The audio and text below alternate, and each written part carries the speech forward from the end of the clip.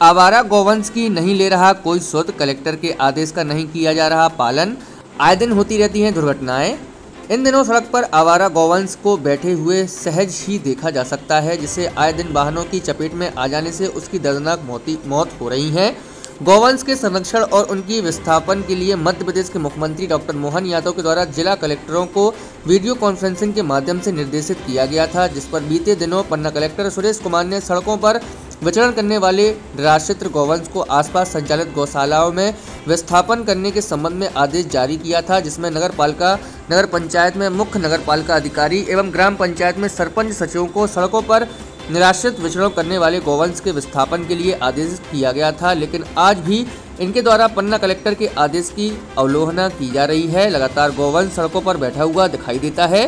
चाहे पन्ना हो, पवई हो सानगर हो, सिमरिया हो या रोपरा हो, पूरे ज़िले में सड़कों में शाम के समय आवारा पशु सड़कों पर बैठ जाते हैं, जिससे वाहनों को निकलने में परेशानियाँ होती हैं और तेज रफ्तार वाहनों की चपेट में आने से आए दिन इनकी मौतें भी होती हैं।